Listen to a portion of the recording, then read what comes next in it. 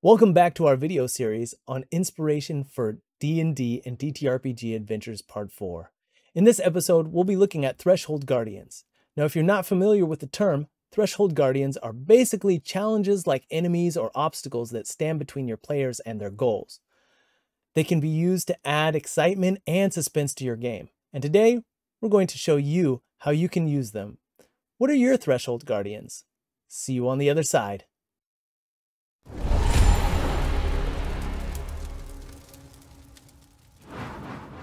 I'm Baba Tucker. And I'm Jackson Dean Chase, and together we're MageGate Games. If you like role playing games and rolling dice, you're in the right place.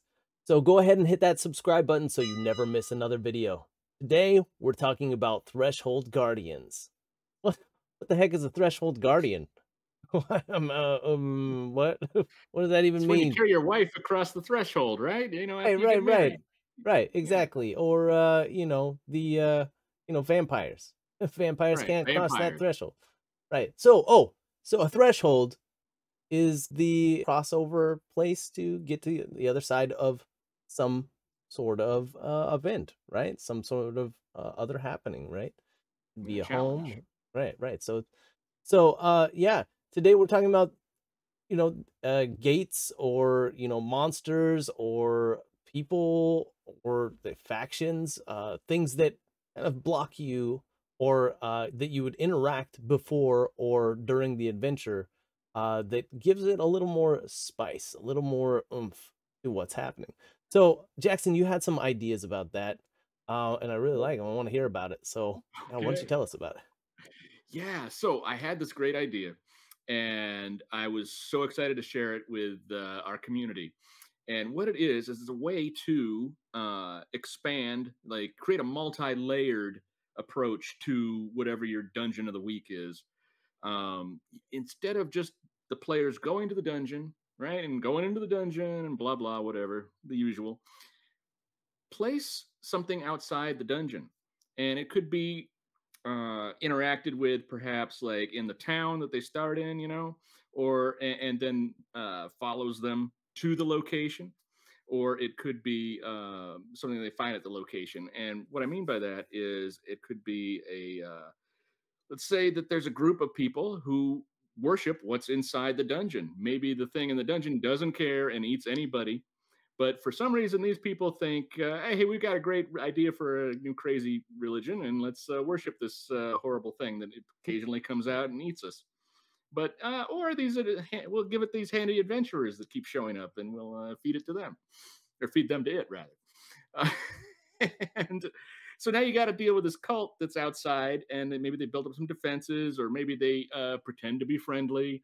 You know, uh, maybe they're looking to recruit who knows um, it doesn't have to be a cult it could be a barbarian tribe right and maybe they buried their honored dead inside uh, you know the tomb or whatever you're trying to get into the dungeon and they don't want you to go in there you know because the treasure that you will be uh, robbing from that dungeon belongs to their ancestors and they need that to uh, you know do whatever they do in the afterlife right they need that gold and those weapons and, and all that stuff uh, so now you've got to deal with all these angry barbarians. Wonderful.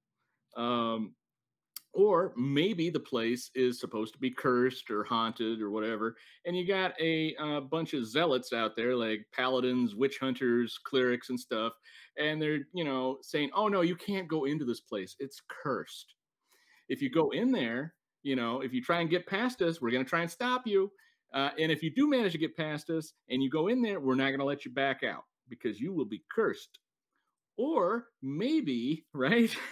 maybe it's a complete sh- uh, charade and they're not really paladins and it's all like some kind of weird scam, like a thief uh, scam where they're like, oh, yeah, no, th- this place is cursed and anyone who goes in there is cursed. But we know the secret, you know, to undoing the curse. It's not a regular remove curse spell. All right. It's only this holy special ritual that we can do, right? Because we've done the research. We know what we're we we know. And so you gotta like, you know, pay us for this service, you know? And uh yeah, that's gonna be like half the treasure. And we don't have to go in there and deal with any of this stuff, but uh, hey, you do. That's great. And that's why you get to keep half.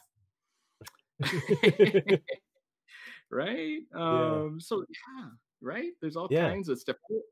Or there could be um like a you show up at the dungeon just as another rival adventuring group shows up. You guys got all the information at the same time, uh, and they're like, "Hey, yeah, no, maybe we don't want to share," you know, Right. or maybe they agree to share and then eh, eh, stab you in the back right at an opportune moment. Uh, or maybe uh, somebody uh, hears that you're looking for this treasure and they decide, hey, let's follow them and then, uh, you know, uh, ambush them when they come out of the dungeon. Right. Or, um, yeah, there's there's just all kinds of, uh, or, or it could be a merchant. There could be a merchant outside, right? I know you love your merchants.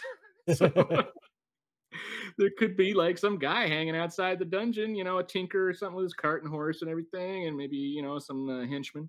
And uh, yeah, hey, yeah, oh yeah, that place is really dangerous. You know, uh, you, you're gonna need some healing potions. I've got the best healing potions, and it's the only healing potions that you're gonna be able to get, right? because I'm the only merchant for miles. So uh, yeah, you should buy these healing potions. And oh, like uh, you drink the healing potion, right? And it turns out it's like a sleep knockout drug or something. And he comes along and like steals all your stuff, uh, or uh, and maybe seals you in the dungeon. I don't know. Or you had an idea, didn't you? With the gear. Oh yeah, yeah, yeah. There's like an adventuring group goes goes before, but you kind of know that adventuring group too, and you hear the rumors. Oh, somebody asked, oh, that they've been missing for a few days, and you have to go get them. Uh, you know, go find out and uh, you know what happened. And as you go and you see the uh, you know merchants all set up, uh, you go, oh wow, uh, that that gear kind of looks like uh one of the people we know. Uh, you know, the oh yeah, they, they had to sell it uh because you know it's hard times and they needed some other thing, so it was a good trade. Uh, but that I, I think that was their grandfather's, right? I don't think they would sell that. Oh, oh no, no, really hard times. Is that is that blood on it? oh, uh, let me show you my other wares. This is you're getting confused with with this thing. Um, yeah, obviously some nefarious stuff. Uh, yeah, I like, I I do like that idea a lot of uh setting up something to where either the rumors might have been coming from this merchant to get people to go in, or if even if it's like a uh you know tied to a larger faction like necromancers or something like that, they're trying to feed these like stronger souls in there so they can have like stronger uh minions or you know undead to to use uh in their nefarious schemes and stuff so yeah i love i love uh that idea a lot Yeah. so yeah yeah yeah um i also like oh go ahead yeah no, no, no. Go ahead. uh all right uh the um the idea that you were you were saying that it could be a, a ghost you know out in front i love that. They we like a possessing the people telling them to turn back. But you know you know "Um, but i need this and maybe you can find the dead body inside and uh you could be like yeah don't don't touch it. Don't mind don't mind those stains that i I was brave before i died but like you know they they could be uh you know warn the players uh especially if you felt like maybe this this dungeon was a little bit like or or whatever place that, that they're going um is a little bit higher than their level or you know to help uh get give them some clues about something. But yeah like i really like that idea of uh things that can help them achieve their goal within the adventure that doesn't really take away from their play but give something interesting at the same time. Uh so yeah like that i love you know spirits are always great but how would you connect that to them? Or you know like how they would react to it or a possession right? Some sure the uh demon really wants you to come in here and you think it's a really good idea. Yeah yeah yeah uh i know the the priest outside said don't touch anything except for this thing. Uh and uh you know good thing that cult leader acting as a priest. The only thing you're not supposed to touch is that thing. Um uh yeah. Um great ways to get cursed. Yeah, uh yeah. yeah but you were Um, saying you were gonna say? Oh, I was gonna say, um, that uh, one of my favorite uh, times uh, uh playing first edition was uh, the Hidden Shrine of Tamoachan. There's an Aztec temple in the jungle, and I got shipwrecked, and the people who sank my boat then saw that I'd escaped and started chasing me into the jungle. And where did I have to run? Oh, into the dungeon. Wonderful. But I couldn't like stop to like look for secret doors or anything. I had to run for my life because I had all these jerks chasing me and they wanted to chop off my head.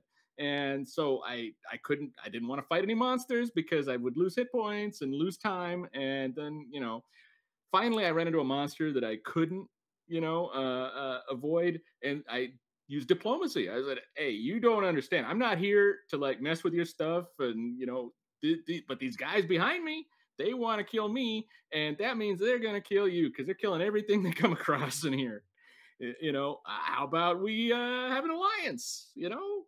And uh, so yeah, and then they got the the bad guys showed up, and the monster and I fought them, and then I like uh, you know took a few steps back and a few more steps back, and then like ah, see you later and I took right. off, and then they had to deal with the monster all by themselves. And you know, I mean, it was a monster. Come on, it was gonna eat me afterwards, probably. I don't know, but uh, yeah, finally, it was the most fun I ever had in in a dungeon because you know, I, it was terrifying. Right? right? It's not like the leisurely stroll.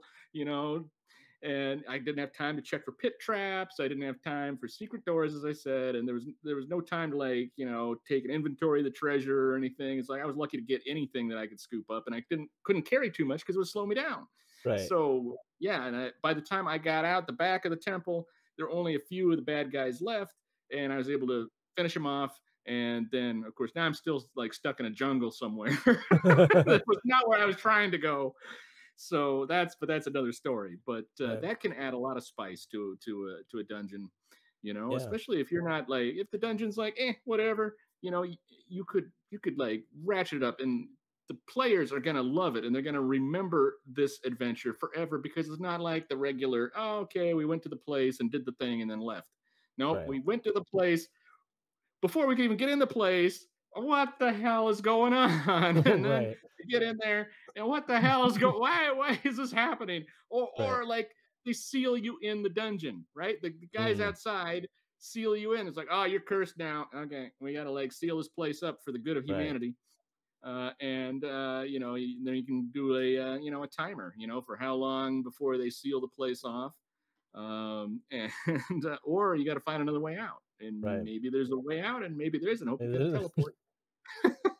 or maybe there's an anti magic uh, thing going over the dungeon, and you can't teleport out. Right. Yeah.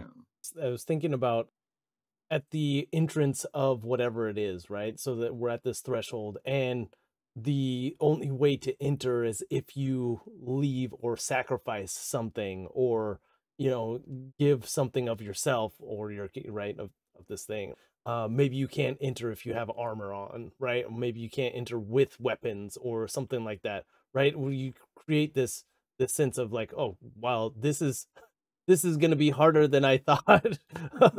um, okay, how do how do I how do I get away with getting in here? But we need to get in here, right? It's it's right, it's critical, right? Um, and and even even those things like you know, and I, I would uh I do have some you know ideas of things that like uh, going into the spirit realm or you know going into this thing that uh you can't carry in certain weapons or you can't do that because you know uh for example like Fey world if you had any iron you got to leave it behind right? Because this is gonna like you know drive them crazy and they will attack you. Or you know so you got to leave this stuff behind. But how do you mitigate that the you know players from you know feeling that? Or okay, maybe a spirit could give you certain traits. They could give you certain uh, abilities to uh, be able to actually handle yourself, and it gives it gives your players another way of playing. Sometimes, like if you're feeling like stale with like, oh yeah, I'm just being a fighter all the time. I, you know, I think it's kind of cool that you know casting spells once in a while. You know, I kind of want to do that, or you know, like something like that, or the druid transforming into you know this type of beast and oh, maybe we can all do that. Let's all transform. um, yeah, I think that's that's kind of a, a, a cool idea. There was also another idea. Uh, is the old uh, first edition infamous classic Tomb of Horrors Hmm. had three different entrances, if I remember correctly, to the dungeon, and only one of them was real, and the other two were trapped. And one of them like had a cave in. Great. so now you're buried under like hundreds of feet of earth, and uh, yeah, good times. I don't remember what the other trap was, but I'm sure it was equally horrible. Uh, and then if you get in there, then it was of course filled with traps. But we all we all remember the Tomb of Horror. Who can forget? um, yeah, yeah. So there's all kinds of ways uh, you can uh, spice up your game with these uh, thresholds. Um, you know, you could look at a you could look at your dungeon, your map, or whatever whatever inspiration you're you're drawing upon for your adventure, and think about like uh, what are some other what are the people or creatures or traps or challenges that are at the threshold you know that would make a good fit for you know thematically uh, with your game or with that particular location uh, you know backstories uh, and maybe it has something to do with the big bad uh, you know super villain of the campaign maybe it doesn't um, but uh, yeah there's lots of ways to uh, tie the stuff in if you want Cool. Very cool. Thank you so much. All right, everybody. Yeah. uh, so yeah, spice up your game with uh, Threshold Guardians, monsters or traps or anything like that. Come up with ideas to make it. Uh, you know, what are those rumors, or do other people know those rumors, and who would who else would be there? Uh, think you know, religious groups or other factions that you know like to uh, that you would like to mess with your groups, or even you get you can even have uh the group of adventurers like that's where they camp out is in front of this uh you know this tomb to make sure nobody else comes in front and maybe it's like a defense type of thing as well. They Mhm. are the threshold uh to other things right? Like they can't get in. Gotta make sure we defeat all the things before they come in. Um yeah really could be fun Yeah. all right uh yeah thank you so much we'll see you in the next video um see you If you'd like to see more things like this, go ahead and subscribe and hit that bell icon.